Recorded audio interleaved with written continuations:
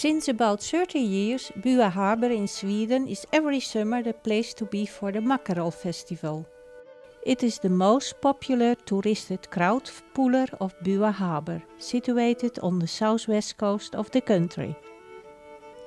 For a few Swedish crowns, that is about seven and a half euro, every visitor can buy a plastic plate with mackerel, mashed potatoes and a sauce of cranberries with twigs of dill.